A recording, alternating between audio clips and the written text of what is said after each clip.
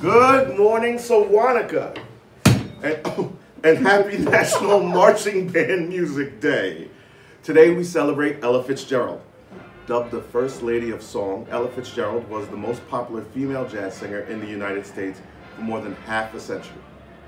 In her lifetime, she won 13 Grammy Awards and sold over 40 million albums. Her voice was flexible, wide-ranging, accurate, and ageless. She performed at top venues all over the world and packed them to the hilt. Her audiences were as diverse as her vocal range.